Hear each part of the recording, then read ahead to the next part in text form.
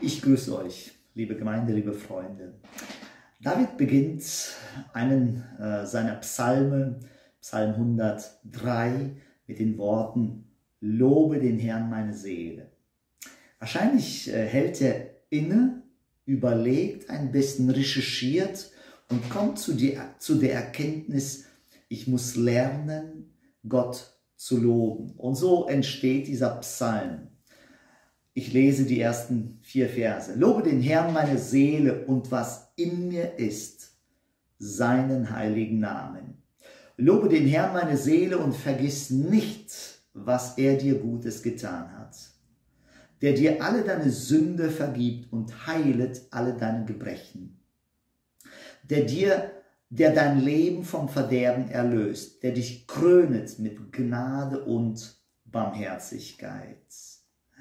Ich finde das so faszinierend, wie er ja sich selber predigt und äh, das Gebet aufschreibt. Also lobe den Herrn meine Seele und was in mir ist, seinen heiligen Namen. Also mein ganzes Wesen, alles, was mich als Person ausmacht, das soll den Namen des Herrn loben. Also loben bedeutet ja auch anerkennen oder würdigen.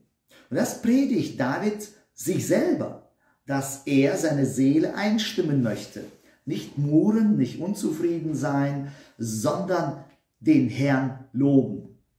Vers 2, lobe den Herrn meine Seele und vergiss nicht, was er dir Gutes getan hat. David versteht sehr gut sein Herz, dass äh, man gute Dinge sehr schnell vergessen kann.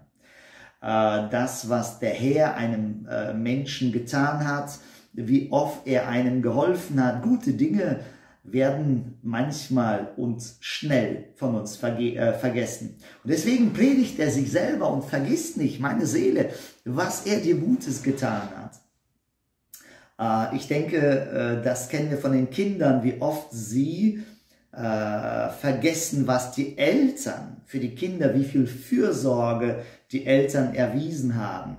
Und das muss man den Kindern immer wieder beibringen.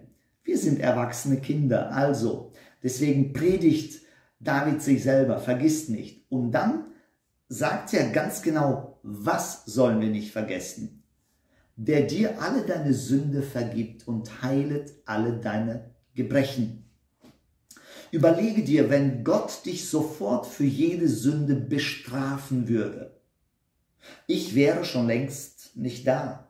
Ich habe den Tod verdient. Wenn Gott für jede Sünde sofort eine Strafe auferlegen würde, niemand von uns Menschen würde leben. Das heißt, der dir all deine Sünden vergibt, ständig tut er das. Und dann nicht nur das, sondern und heilet alle deine Gebrechen.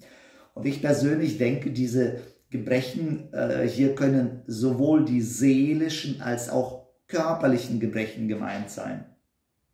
Ich denke auch an die seelischen, wie viel Leid wir Menschen einander antun, wie viel Lasten man trägt mit sich selbst, Beleidigungen, Schmerzen, innerliche, manchmal was in den Ehen geschieht, was in den Familien geschieht, wie viel Leid Menschen tragen.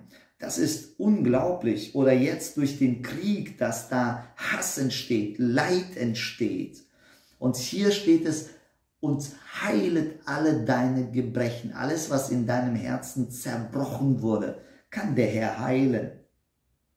Aber auch körperlich, ganz klar, ganz gewiss, heilet er uns. Allein die Tatsache, dass äh, wenn du eine Schnittwunde hast, du musst nichts dazu tun, vielleicht äh, etwas bearbeiten die Wunde, aber die Wunde heilt von sich selbst. Das heißt, der Herr hat uns so geschaffen. Er ist dabei, er ist ein Arzt. Das ist genial, das zu verstehen. Und dann der dein Leben vom Verderben erlöst, der dich krönet mit Gnade und Barmherzigkeit. Also dieses äh, Wort Verderben kann Grube oder Verwesung bedeuten. Also Gott möchte nicht, dass Menschen frühzeitig sterben. In der Jugend durch eigene Sünden, durch Unfälle und so weiter. Und das ist das, was hier gemeint ist, erlöst von dem Verderben. Und David war es ganz bewusst, dass Gott ihn mehrere Male erlöst hat. Ja, da wo es ganz klar war, zum Beispiel während er äh, gegen Goliath gekämpft hat. Es ist nicht so, dass, äh, dass David so stark war, sondern Gott war mit ihm. Und bei vielen anderen Sachen, Gott hat ihn erlöst von seinen Feinden, ja. Absalom, als er gegen ihn gekämpft hat. Gott hat David erlöst. Und dann der dich krönet mit Gnade und Barmherzigkeit. Gnade oder Barmherzigkeit wendet von uns das Gericht ab. Das ist etwas, was der Herr schenkt. Das ist sein Geschenk. Und ich möchte dich hinweisen, erinnern, dass du deine Seele einstimmst, Gott zu loben, Gott zu danken, dass er dich liebt, dass er dir deine Sünden vergibt. Gott segne dich darin, ein dankbares Herz zu haben.